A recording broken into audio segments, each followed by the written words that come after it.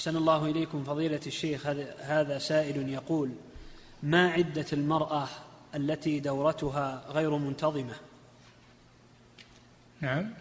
يقول ما عدة المرأة التي دورتها غير منتظمة؟